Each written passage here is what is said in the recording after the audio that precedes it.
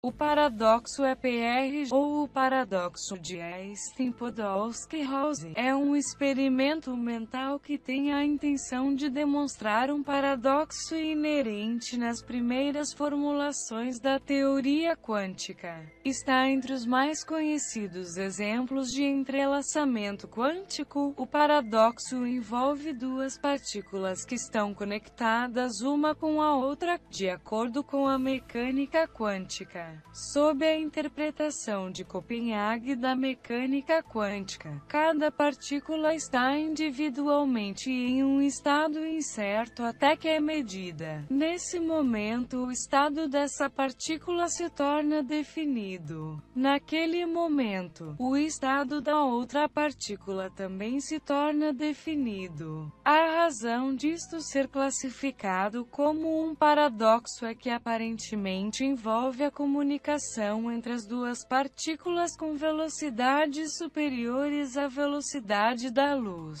que é um conflito com a teoria da relatividade de Einstein.